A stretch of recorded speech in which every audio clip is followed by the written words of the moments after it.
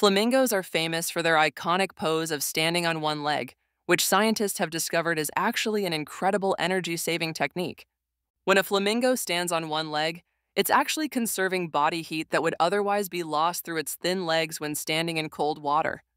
Research has shown that flamingos expend less energy standing on one leg than they do on two, which is contrary to what you might expect.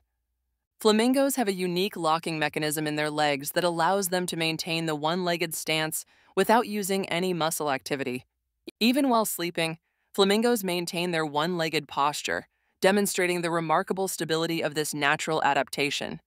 Scientists studying flamingos have discovered that they sway less when standing on one leg than on two, suggesting this posture actually improves their stability. By standing on one leg, flamingos reduce by half the amount of heat lost through their legs when standing in cold water. This one legged stance is universal among flamingo species, whether they live in the cold mountain lakes of the Andes or the warm coastal lagoons of the Caribbean.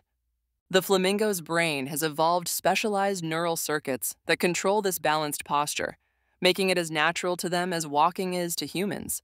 Next time you see a flamingo standing on one leg, remember you're witnessing not just a quirky pose, but a remarkable example of evolutionary efficiency that helps these birds thrive in their environment.